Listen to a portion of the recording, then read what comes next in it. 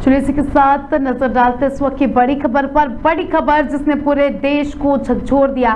PM Modi की माँ हीराबा का निधन, नहीं रही पीएम मोदी की माँ हीराबा।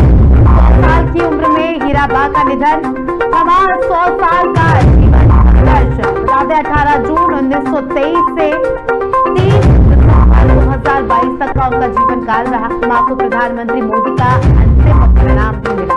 बता दें, शुक्रवार सुबह तड़के हीराबा का निधन हो गया। कुछ दिनों पहले ही उनकी तबीयत जो है ज़्यादा खराब हो गई थी। जिसके चलते आज सुबह उनका निधन हो गया। बता दें, प्रधानमंत्री मोदी की माँ हीराबा के निधन से पूरे देश में शोक की लहर दौड़ पड़ी है। केंद्रीय मंत्री अमित शाह रक्षा मंत्री राजनाथ सिंह, यूपी के मुख्यमंत्री योगी आदित्यनाथ, साथ ही उत्तराखंड के सीएम पुष्कर सिंह धामी और उनके साथ असम के मुख्यमंत्री हिमंत बिस्व शर्मा ने जो है, उनके साथ ही बसपा सुप्रीमो मायावती ने भी हीराबाग को श्रद्धांजलि अर्पित की। बड़ी खबर आपको बता रहे हैं सौ साल की उम्र में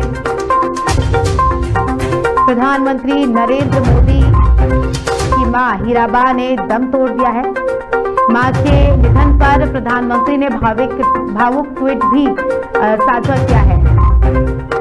बता दें प्रधानमंत्री ने माँ के निधन को शानदार शताब्दी का ईश्वर चरण चरण में विराम बताया है। साथ ही पीएम ने ट्वीट में लिखा है कि शानदार शताब्दी का ईश्वर चरणों में विराम।